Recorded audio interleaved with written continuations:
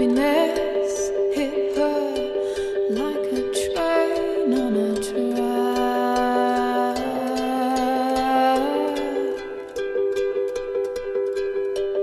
Coming to water.